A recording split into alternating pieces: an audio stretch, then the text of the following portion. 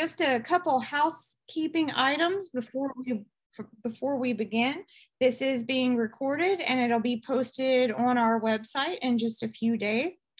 Um, if you have not muted yourself, please do so. Um, and also, as we go through the talk this evening, if you have any questions, feel free to put those in the chat box and we will answer questions at the end of the presentation. So uh, now I'll turn it over to Katlin and uh, thank you all for joining us. Katlin? Thanks, Susie. Thanks for the invitation to come and speak today. Um, welcome, everybody. Thanks for spending your evening with me. Um, tonight, I'm going to be talking about uh, tiny cotton balls or invasive forest pests, the hemlock woolly adelgid. Um, uh, as Susie said, my name is Katlin DeWitt. I'm the forest health specialist with the Virginia Department of Forestry. And we do a lot of work with the hemlock woolly adelgid, which you'll hear about in the course of my talk today. So why did I say, there we go. why did I say tiny cotton balls or invasive forest pest? Uh, we are talking about the hemlock woolly adelgid. And this is what the pest looks like on a hemlock branch in the woods. Um, so I joke about the tiny cotton balls because I always say that's kind of the distinguishing characteristic of hemlock woolly adelgid. Um, it looks like if you turn over a hemlock branch um, at the base of the needles, you see these tiny little white balls um, attached to them. And that is actually each little white cotton ball is an adelgid in that ovisac or that protective kind of woolly flocculence casing um, feeding at the base of the hemlock needles. So we'll get into a lot about this uh, pest, why it's bad, um, but I just wanted to start off of why we think it looks like little cotton balls. Um, I'm also going to back up and talk a little bit about hemlock species worldwide. Um, so there are a number of hemlock or tsuga species that are found um, around the world. And I'd like to draw everyone's attention to the Tsuga diversifolia and Tsuga sieboldii over here in Japan. Um, and then there's also two species of Tsuga in the Pacific Northwest, Tsuga heterophylla and Tsuga mertensiana. Um, those are some that I'll be touching on that have some importance later on. And then obviously on the East Coast, we have our two native hemlock species, Tsuga canadensis and Tsuga caroliniana. Um, but there are a number of hemlocks worldwide, um, and they all are very lovely and beautiful and hold a special place in everyone's hearts. Um, specifically, Eastern hemlocks, um, I always like to kind of start my presentations about Adelgid with this lovely quote um, from the Natural History of Trees in Eastern and Central North America because I think it really does kind of capture the majesty and the beauty of hemlocks. Um, they are in my top three favorite tree species, so they hold a special place in my heart. Um, and I just like it. It says, in the grand high places of the southern mountains, hemlocks soar above the rest of the forest, rising like a church spire, like numberless spires as far as the eye can see, through the blue haze that is the natural atmosphere of those ranges. Um, and if you've ever been fortunate enough to be in an area that has a large population of hemlocks, you can really understand and kind of get the picture that this quote is capturing. Um, they really are just beautiful. Um, they used to take up big, large sections of forest um, and really just just a special species. Um, Specifically, they're special um, and have an importance in the ecosystem because they are long lived, late successional, and climax species, meaning that they really dominate the ecosystem in which they grow. So, you know, frequently found along riparian areas. Um, they really like to grow in these areas together.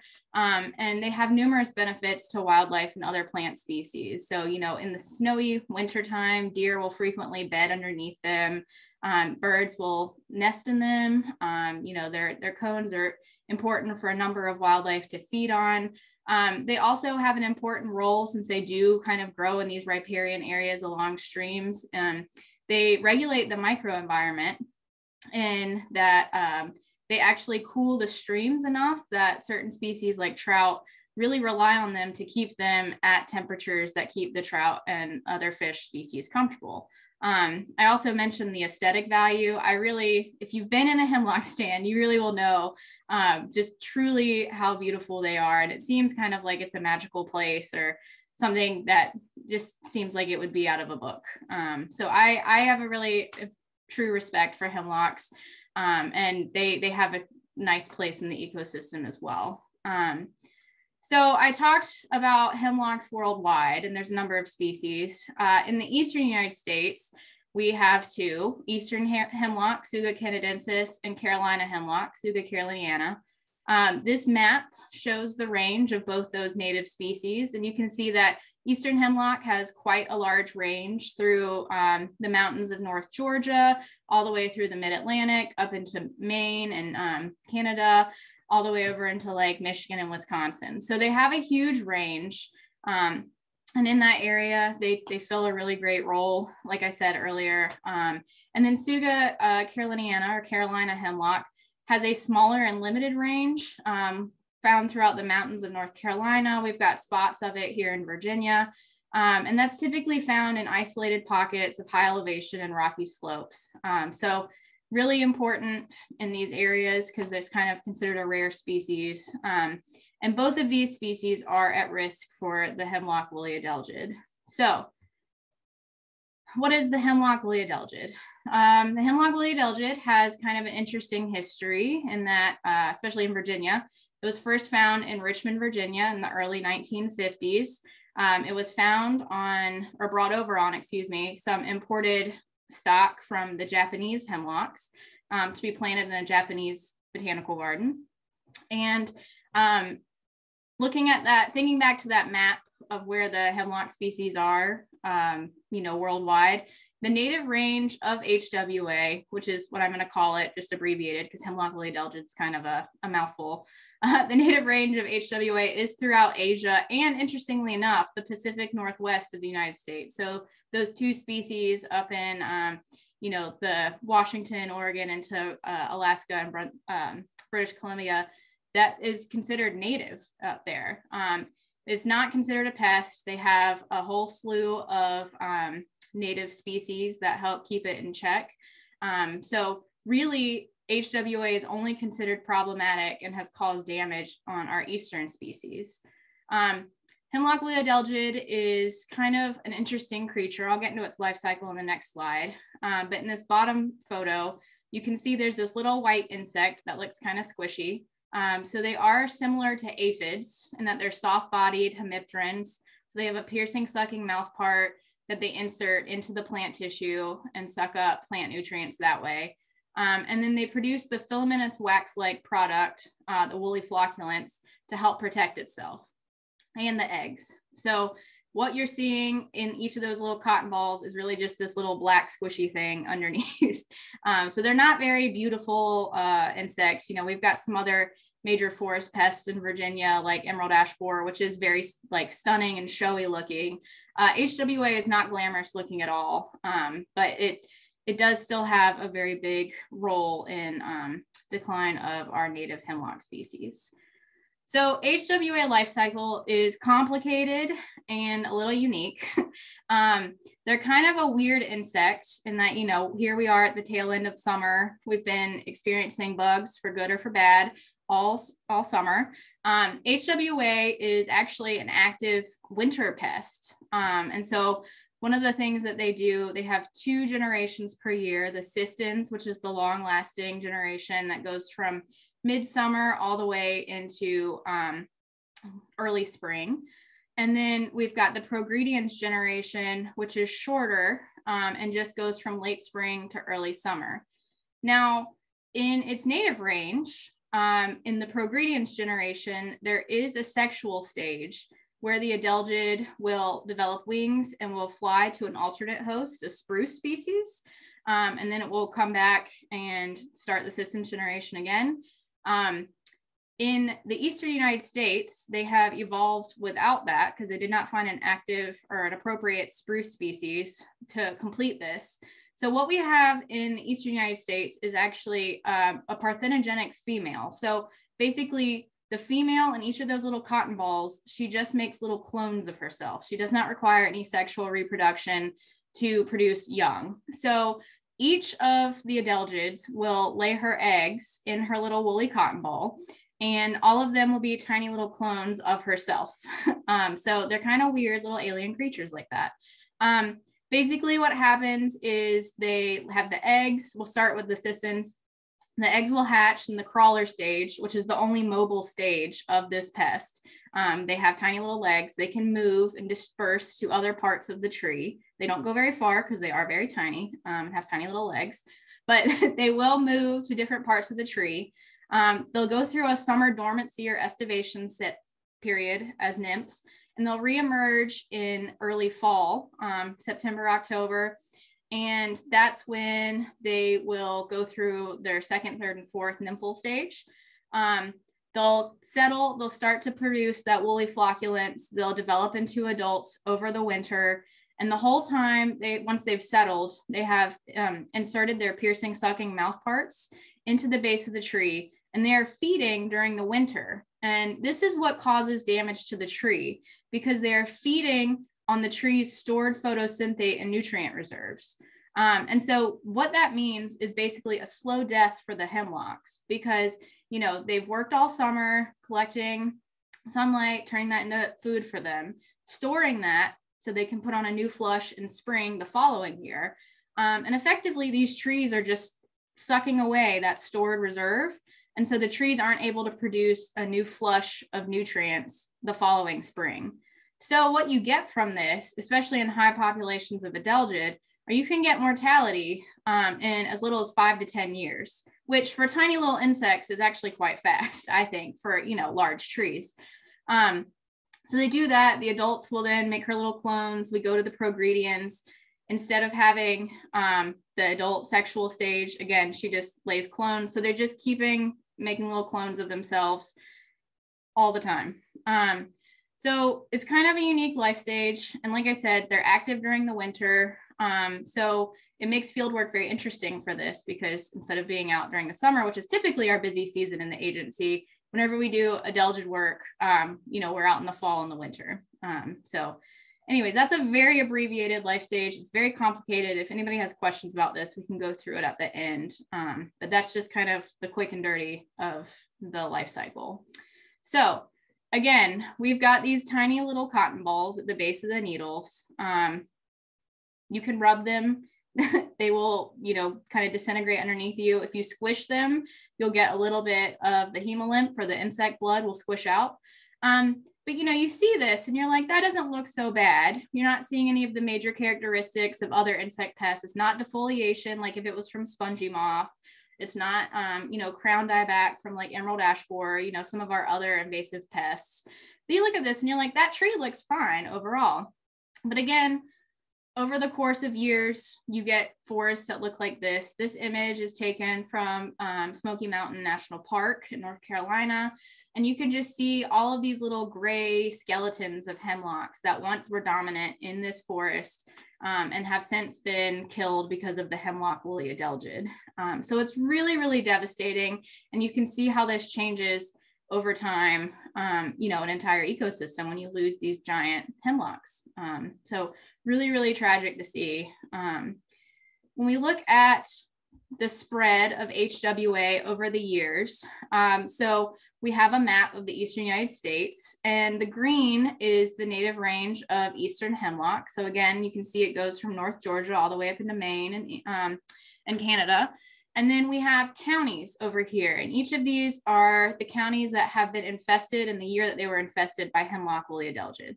Um, so you can see that in Virginia, most of the area where we have eastern hemlock has been infested for quite some time um, all the way going up into uh, New Brunswick, Canada. Let's see if I can get my mouse over here. This little yellow, that was fairly recent.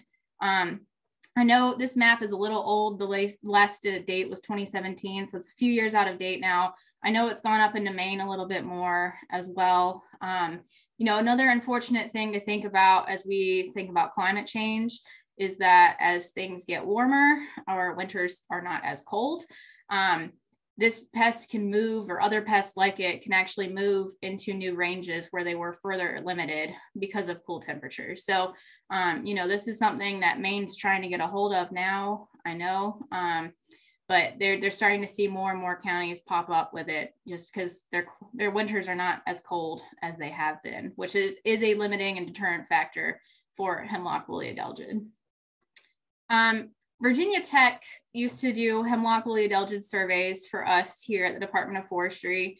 Um, again, this map or this chart, excuse me, is a little old. It's from 2017, but I like to include it in my presentations because they collected a lot of great data and it shows the trend very clearly. So starting in 1997, when they started doing these um, surveys around Virginia, you can see that the green line starts to go, see if I can get my starts to go up. And this is the percent hemlock mortality.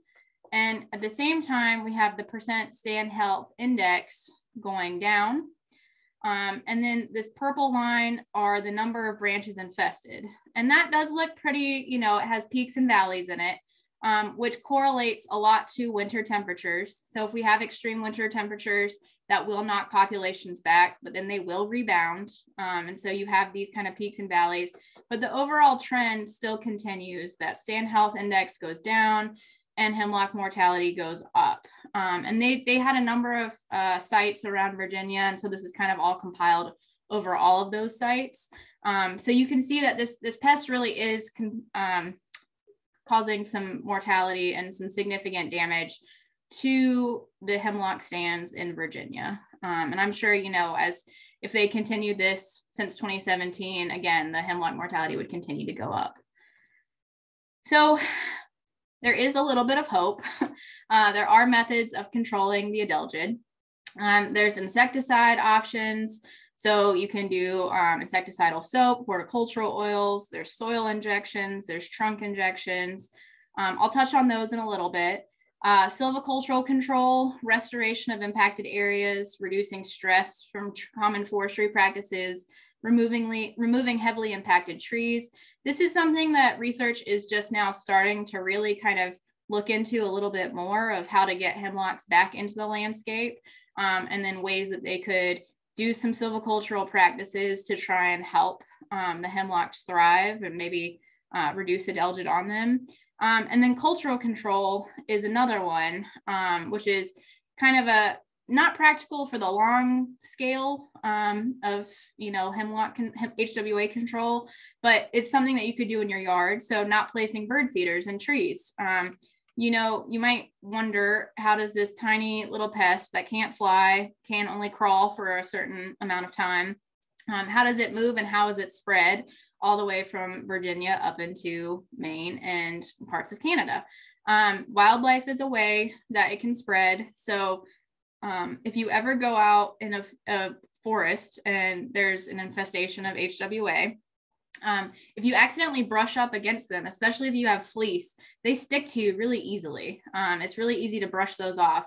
And so if you think about that, you know, with birds or deer or anything that might be moving in and out of these trees, they can easily hitchhike on um, you know their fur or their their feathers anything like that um, i'm not trying to blame all wildlife of course um, so humans obviously have uh, hand in spreading hwa and you know we brought it over here in the first place but cultural control is an easy one that um, you can do if you just want to protect the trees in your yard or give them an extra layer of protection so Chemical treatment is very, very effective for hemlock woolly adelgid. These are tiny sap sucking insects. They're not giant insects. Um, you know, they stay on the tree for extended periods of time. So they're great for doing chemical treatments. Um, there are a number of ways that you can do it. There's a soil drench, like me, I'm on the ground doing a drench on the image on the far right. There's an injection, um, which is what Lori, my counterpart, is doing on the image on the left. A soil injection, um, and then there's CoreTect tablets, which you can, they're little tablets that you can stick in the soil. Um, for these treatments, there are two main chemicals that are used um, and are considered to be the best treatments available. Um, one uses the active ingredient imidacloprid, and the other uses the active ingredient dinotefuran. Now, um, I'll go through kind of the pros of them. So imidacloprid is great for just kind of a baseline population of adelgid, and it's long lasting and it's good in a tree tissue for five to seven years. So really, really effective if you want to do treatments. Um, you don't have to do them every year like you do with some of the other pests. Um, you know, you do one treatment, it's good, it's cost effective, it's easy to do. You can see here I am, I'm literally just pouring the amount of chemical at the base of the tree for the tree to take up and distribute in its tissue. Dinotefuran is the other one that's really good. That one is not as long lived in the tree's tissue. That one is only good for one year. However, it has a much faster um, take up period within the tree's tissue. And so if you have a heavy population of HWA, we like to tell people to immediately treat with dinotefuran to knock that population back. And then a year later to follow up with a drench or an injection of imidacloprid to give it that long lasting protection for five to seven years. Um, and any of these kinds of treatments, the drench, the injection, the tablets, they're going to use one of these chemicals. Um, most of them are imidacloprid. So that is really good for, you know, just protecting these trees for a long period of time. Um, the negative with these two treatments is that they are neonicotinoids. They're in the class neonicotinoid, which is one of the chemicals that has been implicated in pollinator decline. Um, and so if you read the label, there are watch out scenarios for doing these treatments um, around flowering plants um, in areas where, you know, if there's active bee colonies, don't do it. Um, and then if you're close to water, there's a watch out situation because it can be dangerous to air um, to like mac- macroinvertebrates and also uh, fish. So that's why you know you can look at the different treatment options. Like the injection is much safer if you're right by a stream because it goes directly into the tree. So there's no concern if you have um, you know water right beside it. Or you know if you have like a rose bush right next to your hemlock you could do an injection and there would not be an issue with that rose bush.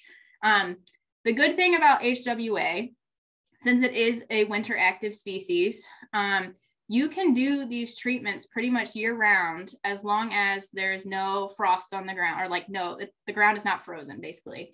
Um, so what we like to do is do them um, in fall or in um, early early early spring before anything comes out. So that way we don't have to worry about flowering plants or anything that might be popping up in the area. Um, if we should see a flowering plant usually we just pull that up um, and then you know make sure it won't keep flowering and not bringing any uh, any pollinators in.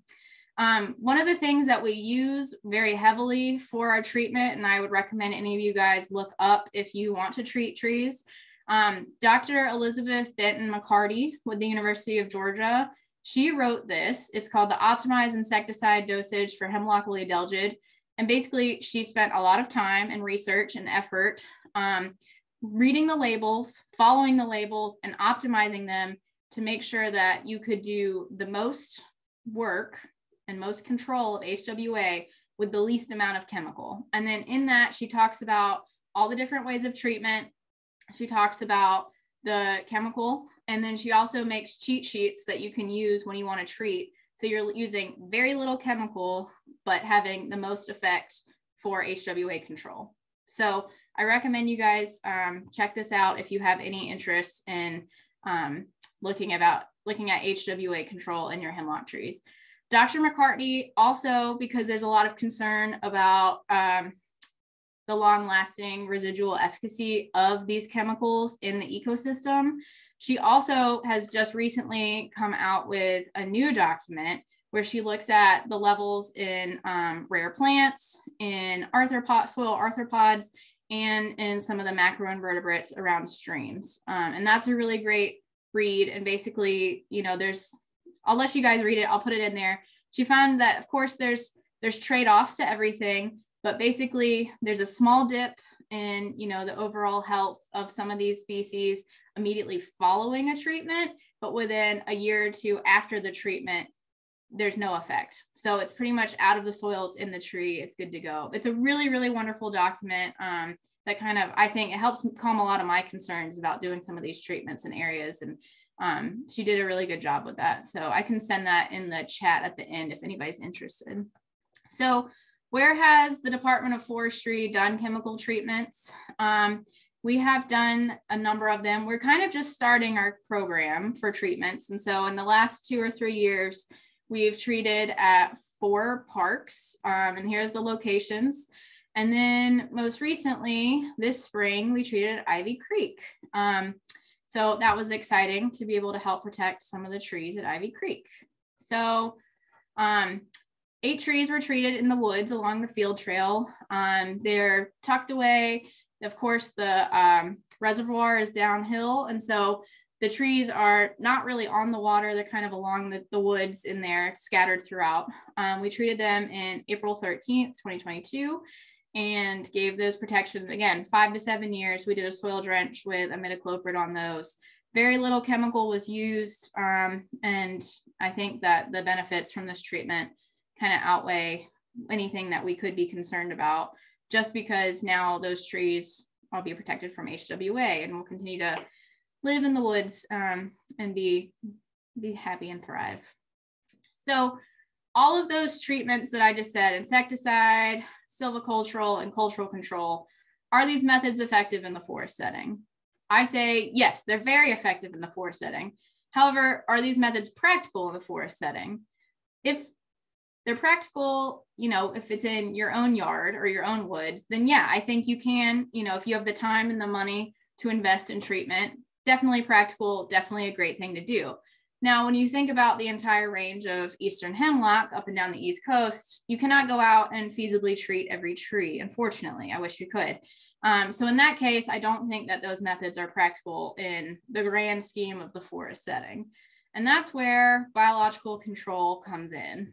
Um, biological control, by definition, is the control of a pest by the introduction of a natural enemy or predator. Um, and a lot of work has gone into biological control of hemlock woolly adelgid. So um, since kind of the early 2000s, really, they've looked at a number of species, um, mostly beetles, to be released for biological control. And these are kind of the four big ones that they've spent a lot of time and effort into. So both uh, Laricobius and Ciscadra sugi are from Asia. And then Laricobius nigrinus and Scymnus coniferum are from the Pacific Northwest. Now, Scymnus coniferum and Ciscadra scymnus sugi are okay. They did an okay job. Um, but really, the bulk of the focus for the biological control efforts of HWA have gone into the two Laricobius species, Laricobius nigrinus and Laricobius osakensis. So Laricobius nigrinus, as I mentioned, is found in the Pacific Northwest on western hemlock. So um, thinking way back to the beginning when I showed that map, um, you know, HWA is found on the north, the Pacific Northwestern hemlock species and is not a pest because Laricobius nigrinus is the main control for HWA in that area. Laricobius osakensis is native to Japan um, and comes from the exact same location of the source of HWA in the eastern United States. So Laricobius osakensis would be considered, I guess both of them really would be considered a classical biological control of going back to the native range of the pest and bringing back its main predator. Um, Laricobius osakensis holds a special place in my heart because this is what I studied for my master's at Virginia Tech. Um, and you can see in this image down here, these are osakensis down here, and they're, they're very tiny little beetles. Um, and Laricobius is specific. They are adelgid predators. So they do not feed on anything else except other adelgid species. And osakensis can only feed and reproduce on hemlock woolly adelgid. So it's a very safe species. Um, so safe, in fact, that in 2010, after a long time in quarantine at Virginia Tech, um, they USDA APHIS released a FONSI or a finding of no significant impact for Laricobius osakensis to be field released in the Eastern United States. Um, well, I guess the, all of the United States, but specifically at this time in the Eastern United States to control Adelges tsugae or hemlock woolly adelgid. Um, so a lot of work went into this in quarantine, showing that um, you know it can only feed, it can only reproduce on hemlock woolly adelgid and no other adelgid species. So um, hopefully that calms some concerns. I know you know sometimes biological control does not have a great reputation, but they're trying to get better at that. and so osakensis is very safe and very uh, host specific. So we have done a number of biological control releases um, as an agency. Um, again, this is something we're trying to get more into. Um, all of ours come from the insectary or the rearing facility at Virginia Tech. Um, and we have done both nigrinus and osakensis, and we've released them at James River State Park, Nature Camp in Vesuvius, Virginia, and Riven Rock Park in Harrisonburg. Um, and James River State Park, the first release of that was done in the early 2010s. And um, we go back and we monitor that spot still. And the, um, the Laricobius population has really taken off and has established itself and is controlling adelgid out there. It's a really it's a really nice program to go see and it's very successful. Um, so we're happy to go out there and find the little Laricobius beetles whenever we try. Now, there is a new kid on the block, and this is Leucotaraxis argenticollis. And these are actually predatory flies, and they feed on HWA eggs in the spring. And so the hope is that these can work in conjunction with the Laricobius beetles um, because the Laricobius beetles are so well timed with that um, generation or the generation that is more long lasting from fall to spring. Um, and so they're feeding throughout the winter as long as the adelgid is out feeding. Um, and the flies kind of pick up that early spring population right after the adults lay eggs. And so the hope is that these two can work together um, and really just kind of do a one two punch on HWA out in the field. And so this is one of our foresters doing a release. We got our first release of this in 2020, hence the mask. it was a good day to be out in the woods. Um, and these are not as abundant quite yet as the Laricobius beetles. These are being released um, from well they're, they're being reared from cornell but they're native to the pacific northwest again kind of like laricobius nigrinus. Um, so they have people collecting from the pacific northwest bringing to cornell to make sure that they are all the leucotaraxis argenticollis and then they send them out from the rearing facility um, for cooperators to release in the woods. So it's a big robust program for biocontrol um, uh, with a number of participating universities and organizations. Um, it's kind of a really nice success story. Um, so here's where we did the purple uh, star, that's Sandy Point State Forest. That's where we did the Leucotaraxis. Um, this is kind of a unique uh, spot for hemlocks, just funny story. Uh, it's one of our state forests in the eastern part of the state, and there's not a lot of hemlock in the eastern part of the state, um, but there's a beautiful population out here right on the river and um, we think it was maybe an old homestead or something. So, anyways, we want to protect those. And since they're close to the river and the watershed, um, our forester that maintains this, he does not want to do chemical control. So he was really excited to do biological control out there. So, um, you know, we look at this map and we say, okay, DOF has done four releases. That doesn't sound like a lot when you consider that most of the western part of Virginia has adelgid on its hemlocks. Um, but I want to let everyone know that there's more. So this is from the um, oh the cooperative. It's like the hemlock woolly adelgid kind of map where everybody puts their release information in. And so again, we've got this green layer that is the eastern hemlock on the eastern coast all the way up.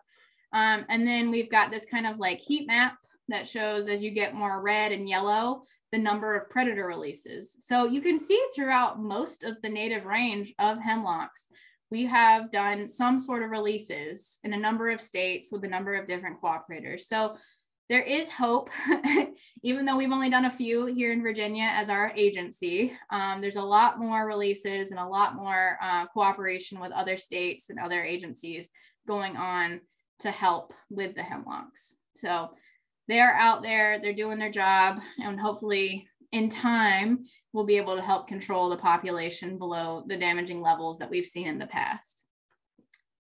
So what does this all mean for the future of hemlocks? Um, as we've kind of gone through, hemlock ecosystems are unique and we really don't know the full extent of what would happen if we lose these hemlocks from the ecosystem. Hence why there's been so much work going on to try and protect them um, with a number of different ways. Uh, there is genetic conservation work that's ongoing. So collecting seeds from trees that seem to be, um, you know, holding out, even though they're surrounded by trees that have died from HWA. Um, things like that. Uh, the silvicultural efforts that I mentioned, um, there's some research going on with the US Forest Service and folks at NC State where they're actually making patches around infected trees because they're finding that the, hem- the HWA really doesn't like direct sunlight on them. It kind of makes them too hot. So they're very temperature sensitive. They don't want it to be too hot. They don't want it to be too cold. Um, and so they're finding that if the trees are receiving direct sunlight, that can help maybe lower some of the HWA populations on the trees. So things like that. They're also doing planting back in areas where hemlocks have died and doing like deer exclusion, um, you know, planting treated trees, that sort of thing. Um, and then there's continuous research at a number of universities going on about the combination of chemical and biological control within sites, together in conjunction, um, all of that. So there, there's a lot of work still going on to try and protect these trees and to try and lessen the impact of the hemlock woolly adelgid. So what can you do? Um, sometimes my talks can be very depressing because they're about problematic forest pests. And so I always kind of like to try and end on a positive note. um, so the easiest way is check on your hemlocks. If you have hemlocks in your yard, check on them, make sure that they you're not seeing these little cotton balls. Um, they look okay. There's not a lot of like dieback, um, that sort of thing. Uh, I mentioned the bird feeders. If you're gonna put bird feeders up in your yard, just don't put them on your hemlock tree, just so uh, the little birds can't accidentally pick up any adelgids that might be on there. Um, if you buy hemlocks from a nursery or if you buy anything else, you know, this is kind of a good overall just a tip in general, inspect any nursery stock or material for hitchhikers. Um, we know that there's lots of forest pests that like to hitchhike. So just do a quick search before you take your plants home from the nursery. Um, and then also, you know, we here at DOF and the Forest Health Program, we're a great resource. We're always happy to come out and look at your hemlocks. Um, so let us know if you find HWA and if you have questions on how to control them. We're happy to answer those questions. And speaking of questions, um, I'll happily take any now. Thanks.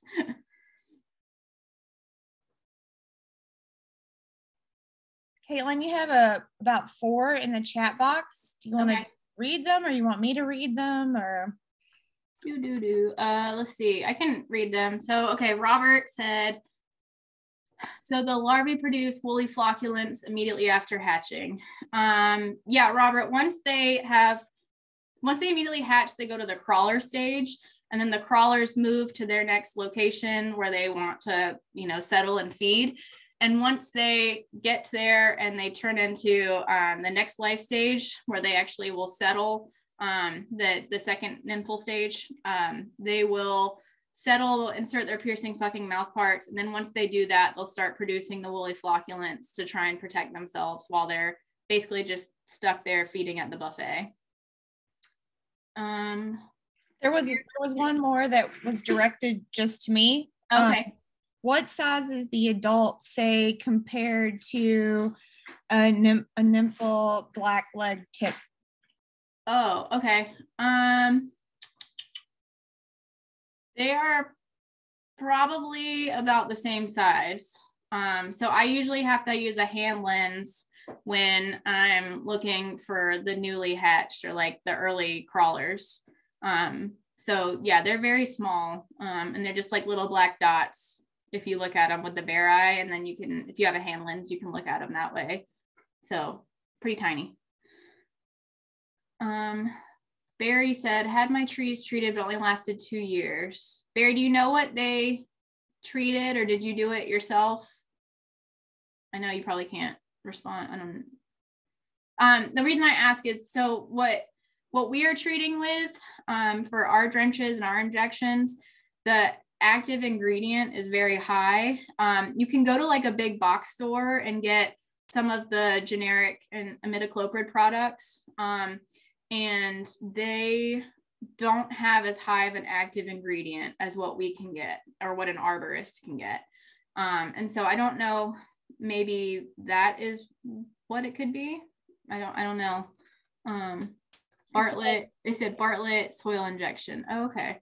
Um I don't know. They it I don't know. They should last longer than that. I'm sorry that it only lasted two years. Um, um, let's see. John said, how far might the predators spread on their own? Um, that's a good question, John, and something that we're still figuring out. I can say anecdotally, um, Shenandoah National Park has released some of the Laricobius beetles on their land in Sugar Hollow. And last December, we went out and we actually surveyed some of the neighboring properties near Sugar Hollow. Um, this is in Albemarle County. Um, and we were probably a good five miles away and we were finding Laricobius on one of the neighboring properties. So they they can fly on their own. Um, they're tiny, but they can fly. So I don't know an exact like mileage, you know, and this was the, the beetles have been released there for a number of years. So probably I don't I don't know how to put a good distance, but you know, they can spread on their own and they are spreading, especially as they're building up in populations. Um, okay, Marion said, are the cotton balls only visible certain months of the year? Um, so they're most noticeable right in um, kind of late fall, early winter because they're the freshest. However, you can see them um, even in the summer months, but they're usually like an older kind of population from like the previous year. Um, depending on if they're continually putting on new flocculence, you know, you can find them and if you squish them, you can tell if they're alive or not. Because if you if you squish them in winter and you get like this little like blackish red goo, that's their blood. Um, and so you know they're actively feeding. But if you do it like you know in the middle of summer when you find uh, a cotton ball, then this probably not going to squish a whole lot, and that's probably the one from the year past. Katlin, I have a question. Yeah. Um, so I know you said earlier that uh, if we lose the hemlock, it's hard to tell exactly what would happen to our ecosystem and everything. Um, but I know um, like Shenandoah National Park is working really hard and probably other organizations are, as well are working very hard to protect the, the trout that are in the streams up mm-hmm. there. Yeah. and you said that um, that you know the trout need a certain temperature and the hemlocks help keep it cool um is that the only species that you all have seen that the hemlocks like really help to thrive? Or are there other animals that you know like the monarch lays its eggs on the milkweed? Right. like, yeah. No i get what you're saying. Um i mean you know with forest, there's always going to be succession. So it's not like once we lose the hemlock, nothing will come back in its place. Um, I think the thing is, is that whatever comes back in its place, it will just not be as effective at, you know, regulating that microenvironment or getting the temperature exactly right for the trout. Um, you know, they, they're long lived species. And so I think that just losing them, there's going to be a delay. So there will be some changes immediately while we wait for the other species to take over. Um, and that will cause a, a shift. And then also, just whatever the shift is, it will help down the line, but I don't know that it will be the same level of help. And then it probably will still take some time, you know, to even get close, if that makes sense. Yeah. Okay. Thank you. Yeah. You have any other questions?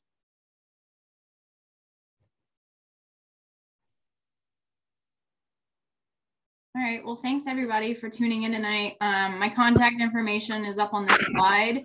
So if, if you think of anything tonight or, you know, later in the week or just any question about anything forest health related, please shoot me an email or call me. I'm happy to, happy to answer. All right, well, um, let me turn my video back on. I'm gonna stop sharing. yeah. All right. All right. Well, thank you everyone. And thank you, um, Katlin, for doing this presentation for us. Um, so interesting and informative. And um, thank you everyone for spending time with us this evening. That you enjoyed it and learned a lot. Uh, I just want to let you know about a few things that Ivy Creek Foundation is doing. Um, we have a couple of events coming up that may be of interest to you. On September 18th at one o'clock, we'll be hosting our September Ivy Talk, uh, which is Albemarle, Albemarle's Black Classrooms, and our speaker will be Lorenzo Dickerson. Um, a filmmaker, photographer, and founder of Maupintown Media with uh, documentary films that focus on sharing stories of African American history and culture in Virginia. Um, then on Tuesday, September 13th at 5 o'clock, we will have a free tree walk at Ivy Creek Natural Area, and maybe you'll get to see some of our hemlocks. Um, on Saturday, September 17th, we're hosting a butterfly hike at 10 a.m. and a plant walk on Sunday, September 25th at 1 p.m. All of these events are free and open to the public, uh, but we do ask that you pre-register uh, because space is limited and you can pre-register through our website at ivycreekfoundation.org. Um, if you enjoyed this talk and would like to support what the Ivy Creek Foundation is doing for our community, please consider going to our website and making a donation today. And again, thank you all for joining us and have a great rest of your evening.